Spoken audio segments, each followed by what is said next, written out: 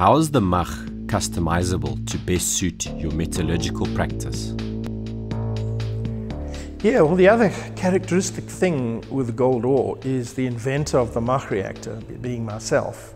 is still very, very, very much involved with operating the company, running the company at every level. So Mach reactor sizes in terms of capacity, there's a couple that have been pre-designed, that are pre-manufactured, that uh, often fits a lot of the, the operations I come across. But the big thing to remember is if there's an operation that requires a very specific flow rate um, and under specific conditions, maybe high acidity or very abrasive or, or whatever it is, or caustic conditions, um, the Mach can be customized in terms of materials of construction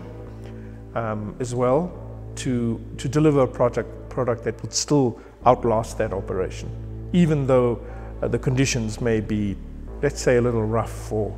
for some of the competition.